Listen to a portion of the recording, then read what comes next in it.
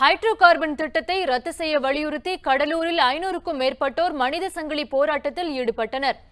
மத்திய அரசின் hydro carbon எடுக்கும் திட்டத்தை தமிழகத்தில் செயல்படுத்தும் முடிவை கைவிட வலியுறுத்தி மரக்காணம் முதல் ராமேஸ்வரம் வரை மனித சங்கிலி போராட்டம் நடைபெற்றது.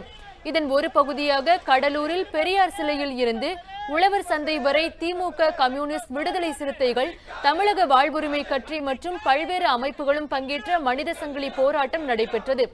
இந்த மனித சங்கிலி போராட்டத்தில் தமிழக வாழ்வுரிமை கட்சி தலைவர் வேல்முருகன் முன்னாள் அமைச்சர் எம். ஆர். கே. பன்னீர்செல்வம் உள்ளிட்ட ஐநூறுக்கும் மேற்பட்டோர் கலந்து கொண்டு ஹைட்ரோ கார்பன் திட்டத்தை ரத்து செய்ய வலியுறுத்தி முழக்கங்களை எழுப்பினர். உண்மை செய்திகளை உங்கள் கண்முன் கொண்டு வரும் காவிரி நியூஸின் யூடியூப் சேனலை சப்ஸ்கிரைப் செய்யுங்கள். நொடிக்கு நொடி நாட்டு நடப்புகளை தெரிந்து கொள்ள Kaveri news dot TV Facebook Instagram Twitter போன்ற சமூக வலைதள பக்கங்களோடு எப்போதும் இணைந்திருங்கள்.